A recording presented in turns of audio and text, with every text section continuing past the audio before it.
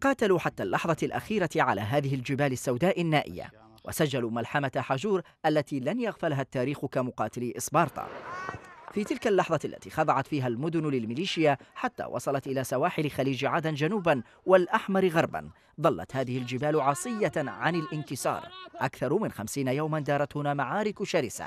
لكن ما تقوله الشواهد إنه مهما بلغ صمود مقاتلي حجور فمن دون تدخل الجيش الوطني بقواته وأسلحته تكون المعركة خاسرة.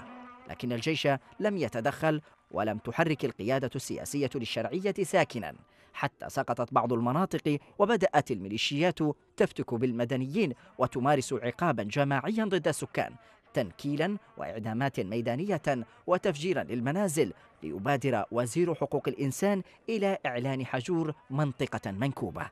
وقد بلغ عدد المنازل التي تم تفخيخها وتفجيرها خلال فترة أكثر من 40 يوما إلى 24 منزل منها 13 منزل تم بعد صمت طويل إذن نطق وزير حقوق الإنسان عن جرائم إبادة جماعية ترتكبها ميليشيا الحوثي الإنقلابية بحق المدنيين مناشدا العالم التدخل لاحتواء هذه المأساة الإنسانية الكارثية. نعم تفرض ميليشيات الحوثي حصارا محكما على قبائل حجور وترتكب جرائم حرب وإبادة حيث سجلت 62 حالة قتل و217 إصابة بينها 17 امرأة.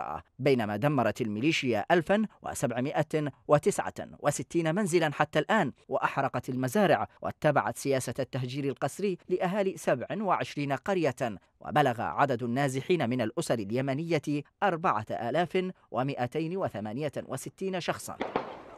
بانكسار حجور ستخضع القبيلة مجددا وتنكسر فكرة المقاومة في مناطق الحوثي.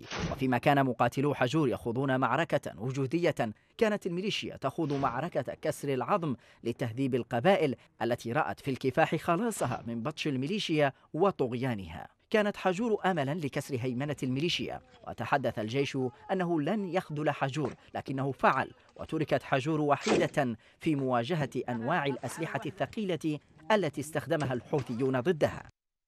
الشرعية التي لم تحرز حتى اللحظة معركة ناجزة نصبت مقاعد الفرجة والندب ولم تحرك ساكناً.